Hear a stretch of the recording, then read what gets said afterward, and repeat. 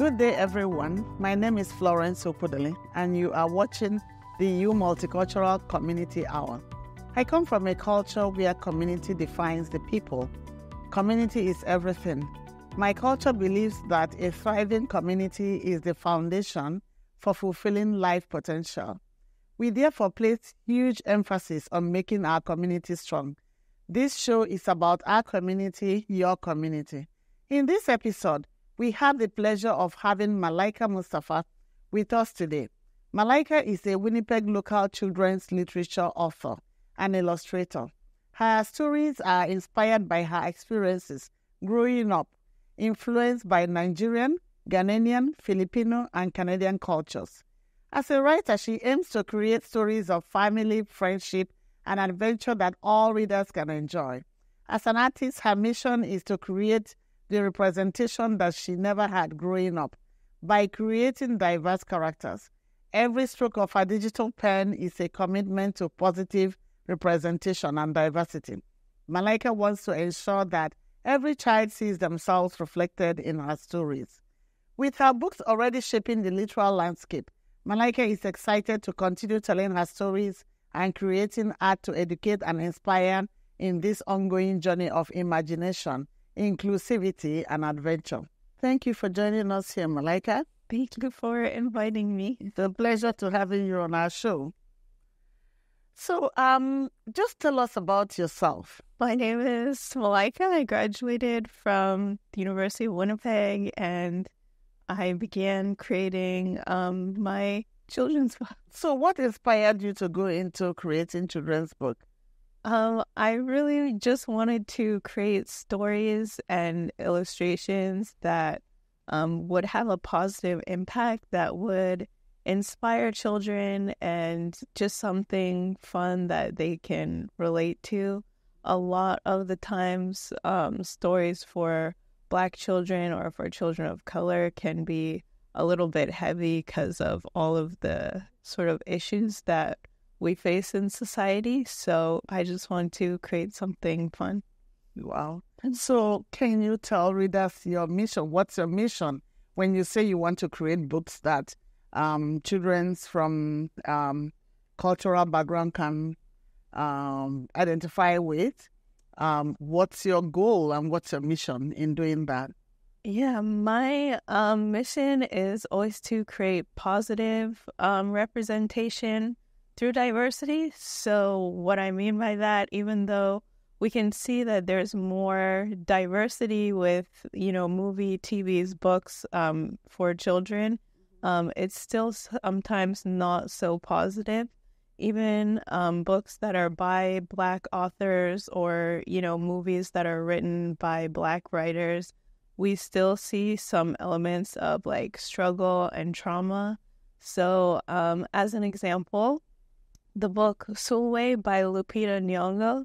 That was one that came out um, in recent years, and it's about a dark skinned girl who is learning to love herself, which is an important message. But in the first like few pages of the book, she's getting bullied. They're calling her Blackie and Darky, and she's, you know, trying to scrub her skin off. She's crying and praying that she wakes up lighter. And that is, um, you know, traumatic for kids to read. So, my mission, I guess, was to be able to show children that they can be confident, beautiful, strong without like first telling them that they're ugly or that they're not deserving. Wow, that's that's amazing. That's very good.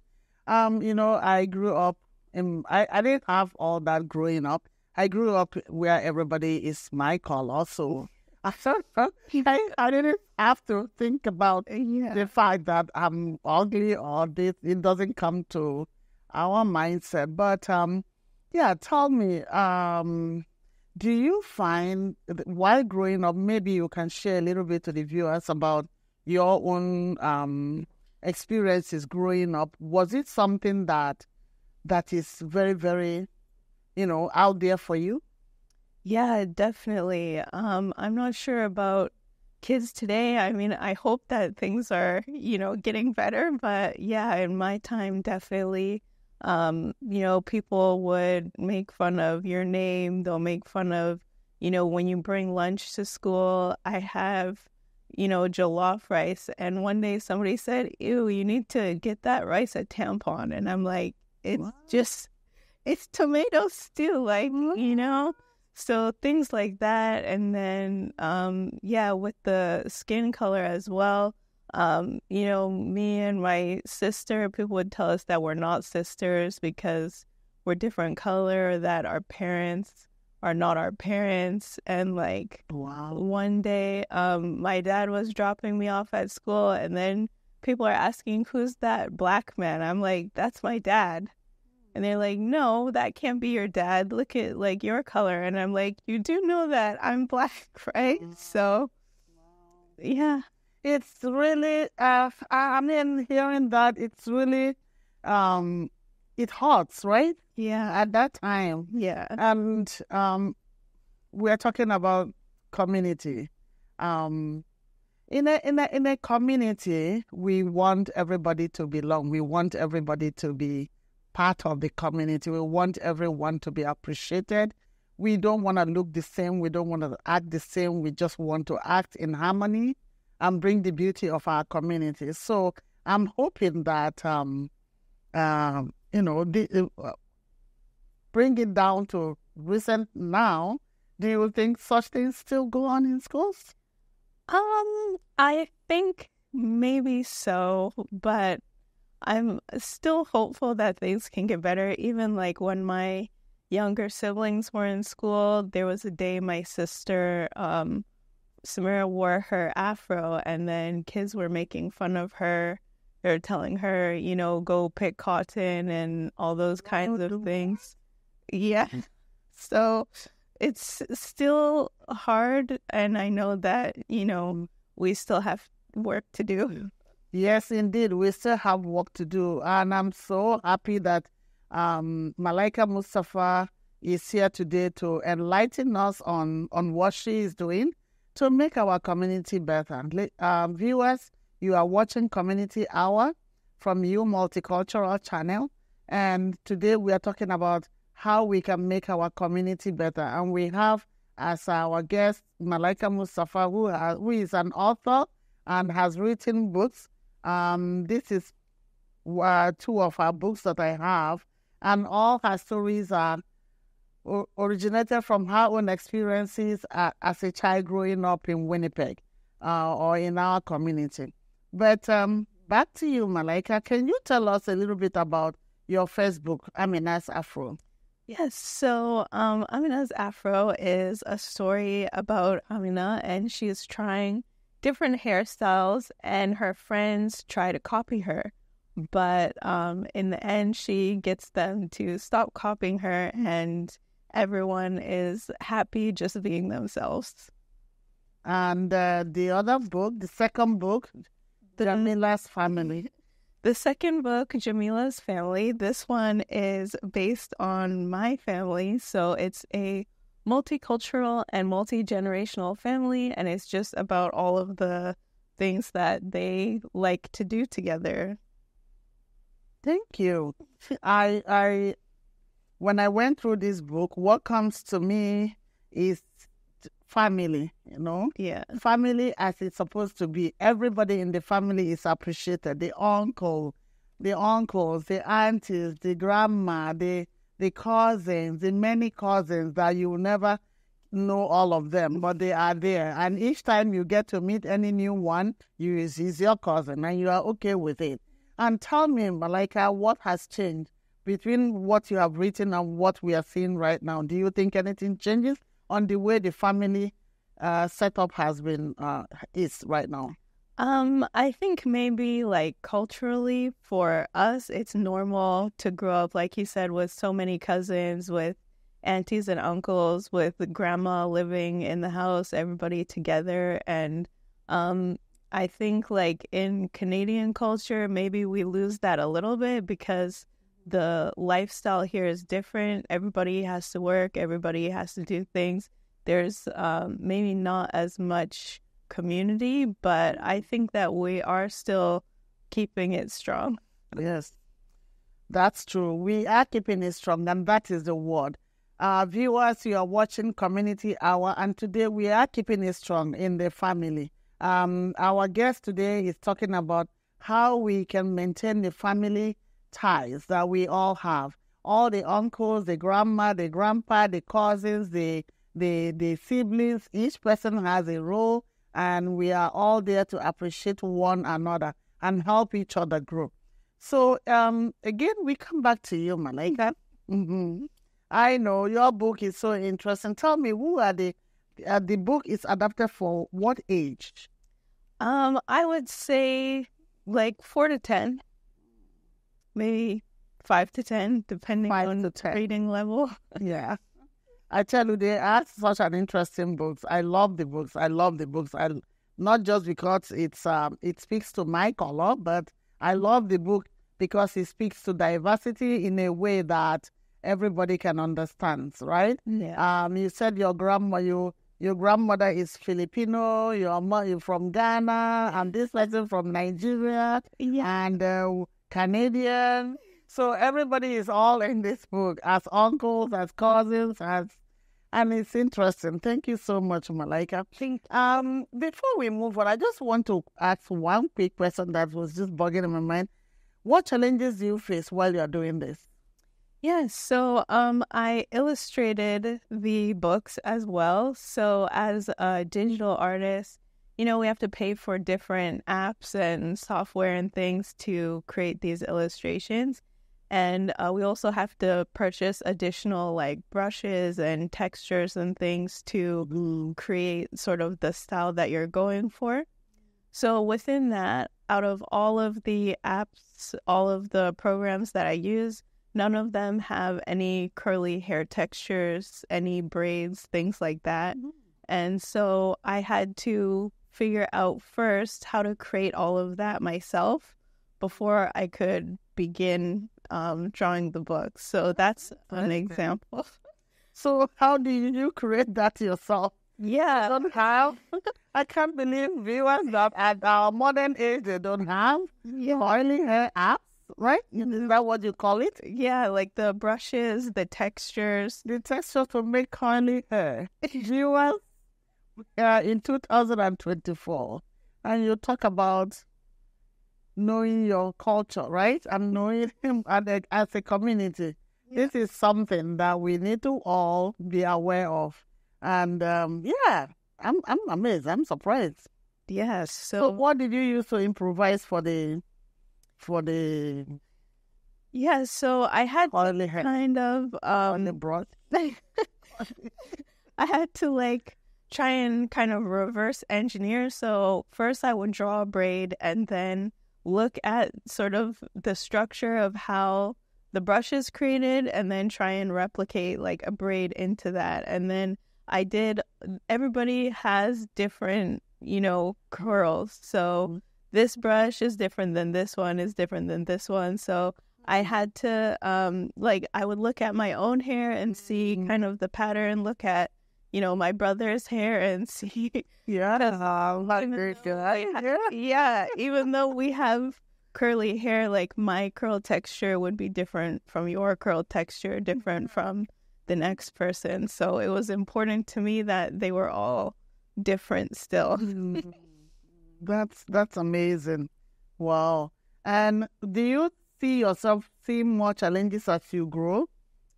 Um, well, I think the challenge would be to get um other people to kind of accept that and make it normal. So, um I discovered while I was, you know, trying to make these brushes and everything that a lot of uh black artists or, you know, artists with curly hair, artists with you know, whatever, they also have to make their own kind of tools. So, Mm. um, I think it's important to get these drawing apps and these, uh, you know, software to include that because if their apps are for everybody, then everybody should be able to, you know, draw themselves with it. So, Wow. That's that's amazing. Thank you so much for bringing this. I tell you, when when I was reading the um Jamila's family, I remember thinking at the time when my kids were young, and I was, you know, they come, come home with books to read, and I have to sit them down to read the books. And sometimes I flip the pages of the book myself, and I try to read the pages of the book. And then one time, you know, and uh, we were over names. We were talking about names. You know, my son's name. My son was thinking that um, his name is too long and people can't pronounce it. So he went for the shorter form, you know, and I keep saying, no, I need that name in your certificate. It has to be there. It has to be there. That's your identity. And and then what struck me was if there are more books with these names that kids have to read and learn to pronounce it, then it doesn't sound new all the time, right? Yeah. So I think ha- had somebody mentioned to you about the names you use in your books? The the the names in your books.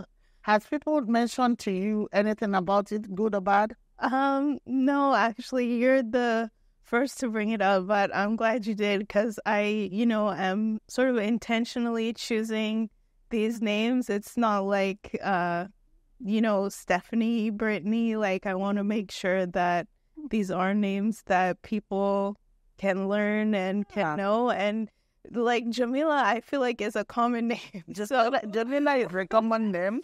Jamila is a, everybody can pronounce Jamila, and and easy. And but you see, the interesting aspect is when kids learn to read the book and learn to pronounce the book from young, then they get used to learning how to pronounce a lot of foreign names or other or names from other background or other cultures. Serena, people can pronounce Serena. And um, Marcos, Marcos is English, so this people it should be easy. Take us through another. Where is another name? Um, okay, I also like the one of Jamal, Selena, and Serena. Serena and Selena. These are uh, two names that look the same, but with the difference of R and L. Why did you choose to use those two names? So, because this is based on my own family, my cousins, the twins, their names are Safina and Safira. So, same kind of thing where the name is similar, but except for that one sound. And I actually thought about using their real names, but then I thought, let me just yeah. change it up a little. No, that's good. It's it's wonderful. I really love the book and and the illustrations you've used there. Um, viewers, we are talking to Mala'ika Mustapha, an author in uh, a young author and an illustrator who has uh, written two books on children's book coming from different cultures. Um, I would I will advise people to get a, get their hands on this book for their kids. It's another way of learning what family means to us. Um, again, back to you. I would like to ask what, if you are successful in this, what will success mean to you as a person, and what will success mean to you as a community? Okay, so I think that um, I'm already successful because my mission was to create that representation and diversity to have like a positive impact to uplift and to inspire children. And every day I get people sending me messages. Like I just got one the other day. This woman says, My daughter's name is Jamila. I'm black. Her dad is Asian. We have a big family. Like, thank you for this book. So, um, she would think as well. Yeah, exactly. Like the book. Yeah. And you know, growing up, like I never saw a character with the name Malika. I never saw even characters with you know kind of same skin tone same hair texture. So that um to me is successful. And then i have people sending me like their children doing book reports on amina's afro. So it's really um you know fulfilling to know that it's making a difference.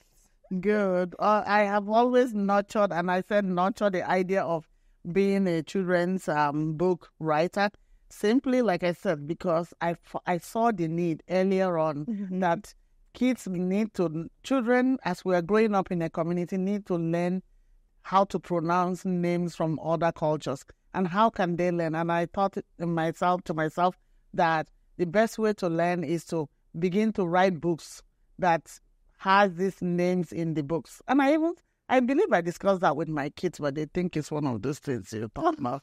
You know, so I'm really that's why I'm so happy to have this book and to see you grow up writing this book and I hope that more will come. Yeah. Yeah. Um again, if you had to make a wish, what would be your wish?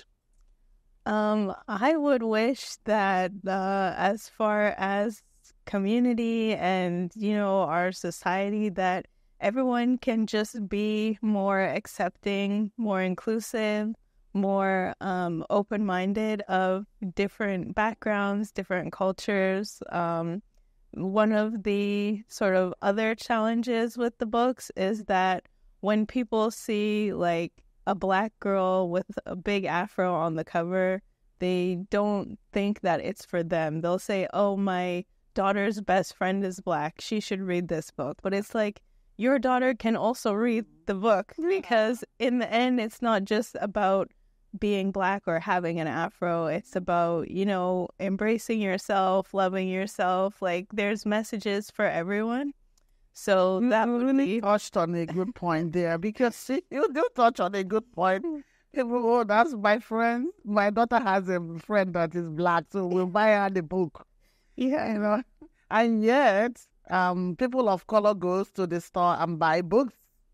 Yeah. And just buy books regardless of where it comes from. Yeah. No? Yeah. That's um uh, the recent remake of The Little Mermaid with mm-hmm. Halle Bailey that was considered to be controversial because how can you have a black Little Mermaid? Well, she's a mermaid, so you know. Anyway, mm-hmm. but for me, like like you said, growing up as children, when we don't have that representation, we had to sort of create it for ourselves. So to me, The Little Mermaid was my favorite princess because it wasn't just about a mermaid who was, you know, going to land. It was about like an immigrant who is finding a new culture, getting assimilated, and she's struggling in an interracial relationship. So I related to that because that's like what my parents and grandparents had to go through. And then with The Little Mermaid, too, where her daughter, uh, you know, returns to the sea, it's not just about a girl returning to the sea. Mm. It's about a girl who grew up in one culture and she's trying to connect with mm. the part of her culture that she didn't grow up with. And so that's like us growing up in Canada, but we have uh, you know, cultural backgrounds. So it's like back to your point, it's interesting because we as people of color have to find ways to relate to these stories with white characters, but when it's the other way, they just can't seem to do it. You know, it's it's amazing that it's funny that uh, you know we are going that direction direction about even with children's book. Yeah, I I I once uh, had um, one of my colleague at work was went to. Um, you know, it was on a Monday, and I asked, "How was your weekend?" And he said, "Oh, we went to this gathering, uh, but I had to leave. I said, Oh, what was the gathering all about? And he said, Oh, yeah, it was this and that, but I had to leave. I said, Where did you leave? If it looks like fun, he said, Oh, I was the only white person there.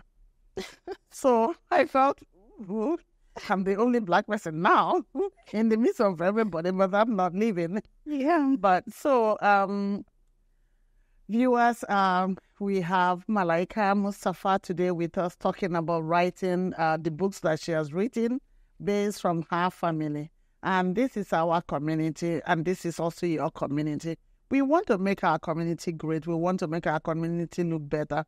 We want to make our community all inclusive, and we want to make our community reflect the diversity that we all have.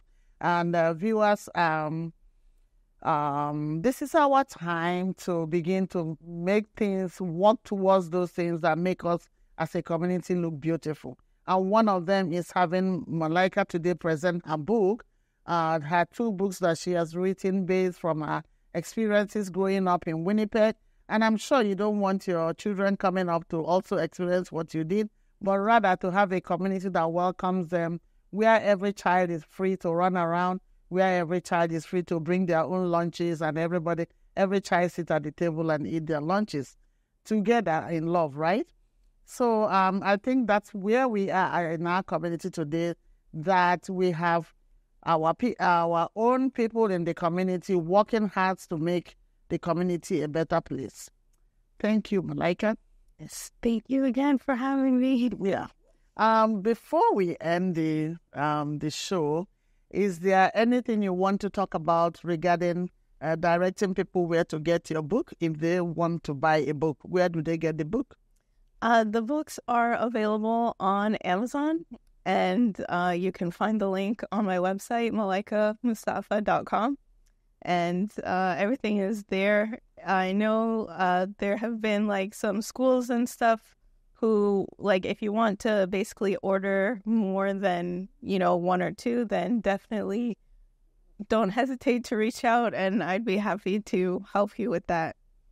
Once again is malaikamustafa.com yes. Uh, her website if you want a copy of the book you can go to malaikamustafa.website.com and order the book or you can go to amazon and type malaika mustafa or any of the headings of the book, Jem- Jemila's Family or Amina's Afro, and it will pop up for you. So thank you for joining us once again. Thank you for being here and thank you for enriching and helping us build our community. Um, and we wish you all the best. Thank you.